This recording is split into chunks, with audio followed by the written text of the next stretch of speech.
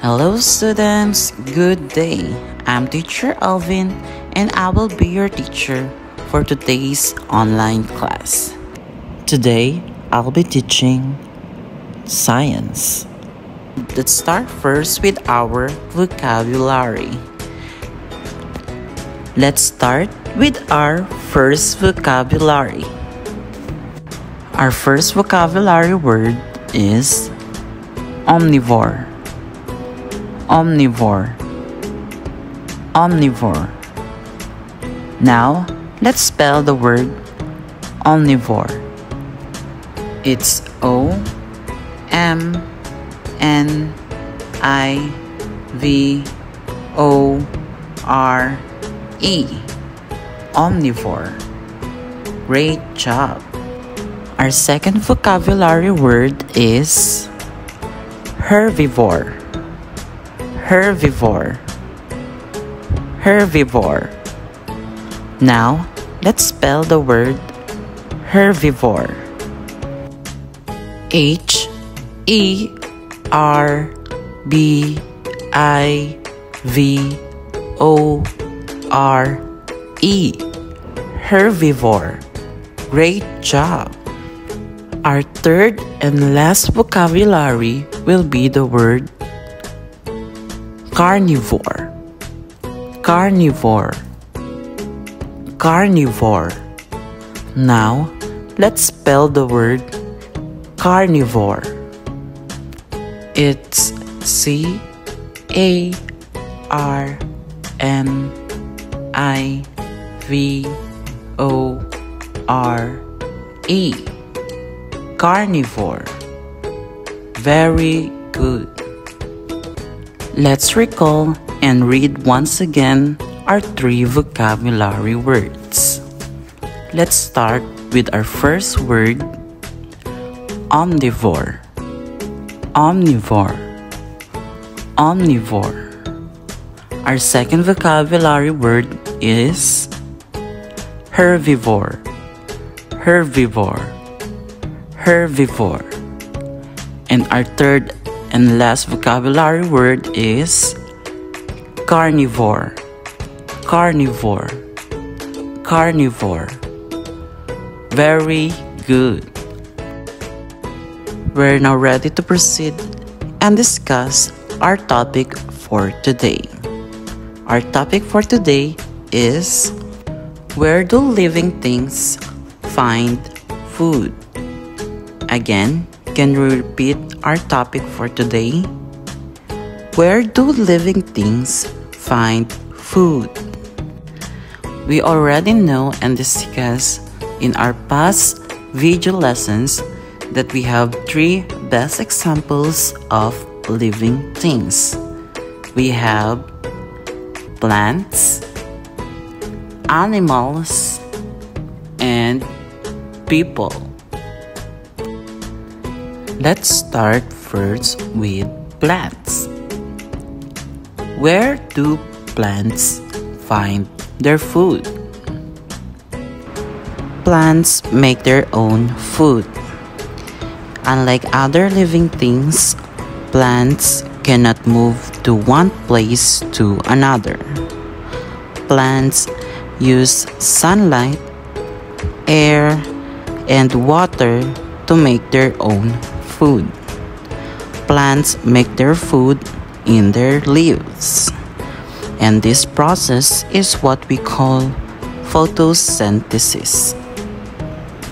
Next living things is animals.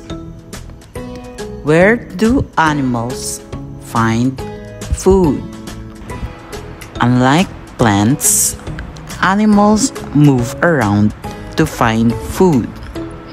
Some animals only eat plants, and we call these animals herbivore, just like your sheep, goats, and even cows. These animals eat only plants just like grass and leaves of the plants but there are other animals who move around to hunt their food. These animals eat other animals. We call these animals carnivores because this is animals who eat mostly meat. For example, like your lion, cheetah, and even your tigers. These animals eat mostly meat. We also have animals that can eat both plants and animals. And we call these animals omnivores. These animals has an ability to eat and survive on both plant and animal matter, just like bears, birds, and even dogs. These animals are omnivores. Now, let's proceed to people, or sometimes we call them humans. People eat plants and other animals. So people is also an omnivores. People raise animals like chickens, cows, and pigs on farms. People grow plants like vegetables and fruits in fields and gardens. For example of fruits, we have apples, bananas, watermelons, and even strawberries.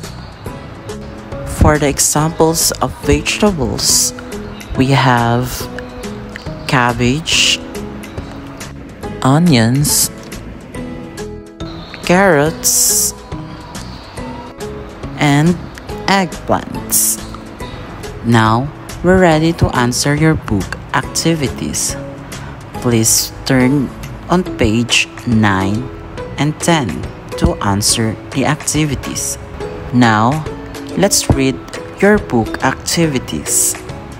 Your first activity was on page 9. Answer with short sentence. Again, answer with short sentence. Number one What do animals eat? Again, what do animals eat? Number two Do plants make their own food? Do plants make their own food? Number three, which part of the plant takes water from the soil? Again, which part of the plant takes water from the soil? Next questions are for 5 and 6. These are still on page 9. Number 4. Where do people raise pigs and cows. Again, where do peoples raise pigs and cows? Number 5. Can plants move to find food? Can plants move to find food? Number 6. What is another word for people? What is another word for people? Next are numbers 7, 8, and 9. These questions are on page 10. Number 7. Where do animals get their water from? Again, where do animals get their water from? Number 8. What do plants use to make their food? What do plants use to make their food? Number 9. Where do plants make their food? Where do plants make their food? Next number is number 10. This question is still on page 10. Name 6 plants that people grow for food. Again, name 6 plants that people grow for food. Write your answers on the space provided below. Thank you for watching. Hope you learned something new today. And please don't forget to wear your mask regularly and wash your hands often. Stay safe. And again, this is Teacher Alvin and see you soon. Bye.